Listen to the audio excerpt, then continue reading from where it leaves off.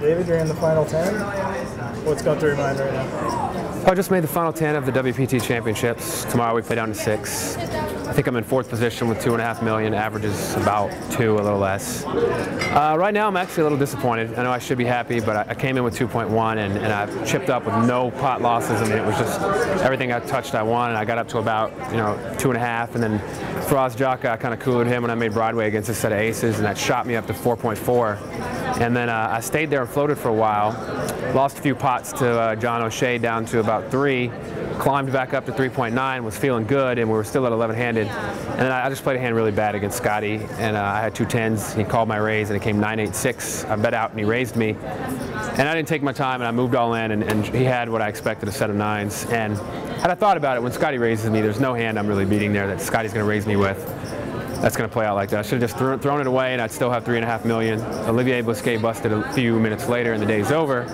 So I'm kind of on a, a low note right now because I got two and a half instead of, I feel like I should have three and a half. And I'm not mad because of the luck or I don't feel like anything like that. I'm more mad at myself because I'm, I'm good enough and I'm playing well enough to know that I should have just folded the tens when Scotty raised me to 300,000. Now you cashed at Mohegan Sun and here you are in the top 10. Has something changed in your game?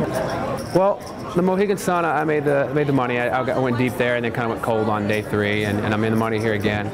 You know, I think uh, it helped. I mean, I've been working with Sam Chauhan, mindset coach, and he's really helped me just learn to stay positive and, and have a lot of positive energy and, and keep myself focused and not self-destructive. I mean, I do a lot of things where things upset me and I self-destruct. You know, I'll get upset from like like the hand with Scotty. We, I lost that pot and had the day continued. I'm not going to tilt or steam off about it anymore because I am thankful I'm still in and have chips, and I know that the goal is still in sight. And just because I lose one pot, it's going to happen.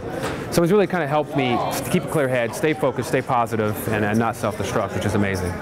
Was Scotty's playing today, you know, throughout the day, a factor in your decision in that last hand? You know, the last hand, and it's not just how Scotty played today. I mean, me and Scotty have a history of, of mutual respect, I would call it. I mean, we've played each other a lot. And it's not that we soft play each other, but we don't really mess around with each other. We know where we are at all times. If one of us re-raises the other, we have it. You know, he doesn't bluff me. He's never bluffed me in years. I've never bluffed him. And for a while, there was a few years where I wouldn't believe him, just like now. And I'd stick it in, and he'd show me, you know, aces, kings all the time. And I got to thinking, why do I, why do I mess with this guy? I mean, when, he, when, he, when we get in these spots, he has it, and he knows, and he makes some big laydowns to me. So it doesn't go. It's not just today. I mean, it's just a, it's just Scotty, and it's our history. And I should have really known better and played better. But I still got two and a half million for tomorrow. So at the table next to you, uh, I don't know if you noticed, but Phil Hellmuth doubled up a player, and he was furious when you lost that hand to Scotty, you, you seemed like you took it pretty calmly. Is that because it was Scotty, or is that just your mindset coaching? Yeah, no, I mean, it's kind of funny. You mentioned that Phil Hellmuth, how he took doubling up baseball league versus how I took doubling up Scotty. And you, but the funny thing is, both of us have the same mindset coach, and we both work with them. But uh, you know, I think it's just my whole way of looking at things. I mean, I always just try to look at the bright side and stay calm and realize there's still time. But I mean, there also there's a big difference in that Phil's only left with 800,000. I still have two and a half million too. So that you know, that's a big difference. So I, I feel for Phil. I feel bad for him. I know it's a pretty sick situation he was put in. Who's who's in the top six? Call it.